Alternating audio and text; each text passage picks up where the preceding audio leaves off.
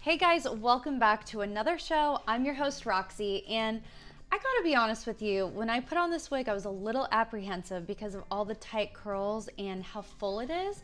But now that I did, I'm actually kind of digging it. I'm not lying. Um, this is called Hot Mocha Rooted. Let me get a little closer. You can see all these beautiful highlights, and it's basically a brown with light auburn, and it's got a dark auburn root. So you guys can see that right there which is something I always love because it looks like it's growing right out of your scalp.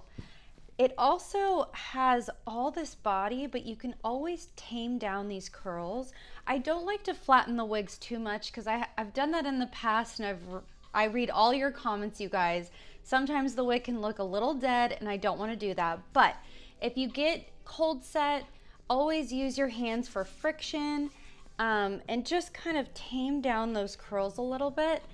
I always like to use a detangling spray to kind of make sure that those curls aren't getting too frizzy.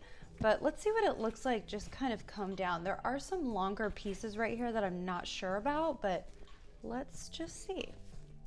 This is the first time that I'm trying on this wig. I've seen it a lot on mannequins and in its box and out of its box, but I've never actually worn it.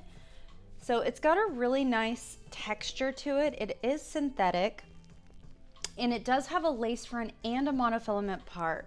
So let me show you what the lace front looks like. It's pretty seamless, you guys.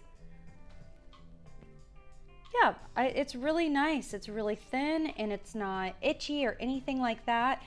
Another thing I recommend is if your skin is a little dark like mine, you can always use some of your powder or your foundation, just put it on the tips of your fingers and kind of tap it right on that lace front.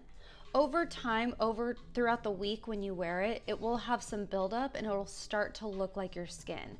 Just make sure that you're only washing it about, I would say every other week you don't want to overwash because that will have a lot of wear and tear on your wigs and you don't want to put too much product because then you'll have to wash or you'll think you have to wash and that will also have more wear and tear on your wigs. But other than that, you guys, I'm really liking this style. I like all the curls. I like the body. It kind of face frames my face, which is another thing that I'm always happy to have because it, you know, it gives you some, makes you look snatched, if you will.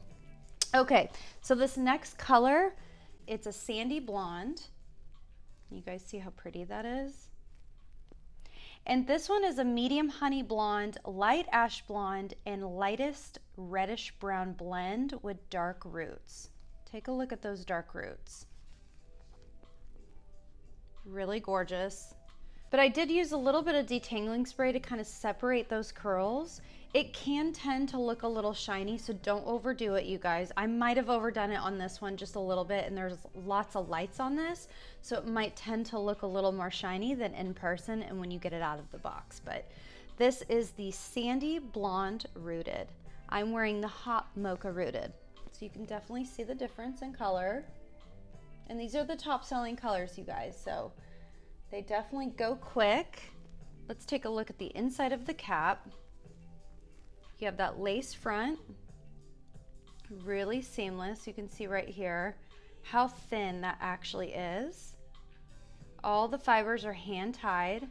And then you have that beautiful monofilament part, which allows you to have that multi-directional parting, different styling techniques. So I wanted to show you something. It's nothing too crazy, but it's just something that I like to do with my wigs that have a monofilament part. So I like to take a little bobby pin and let's just see what we can do. And just kind of lightly put it in there just to give it a different look, you guys. Again, this is all preference. This is just something I'm doing very quickly to show you how fast you can transform this style. But just kind of get out of your face a little bit since it does have that lace front and that mono part. I like to keep a little bang out.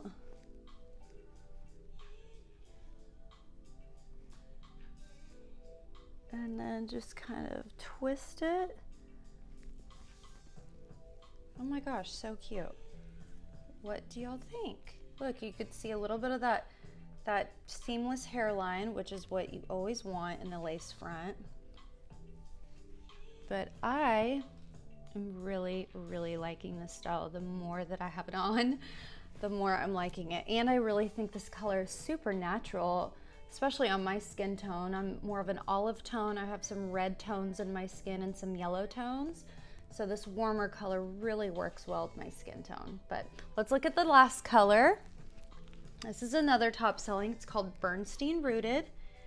And it's a light brown base with subtle light honey blonde and light butterscotch blonde highlights and a dark root.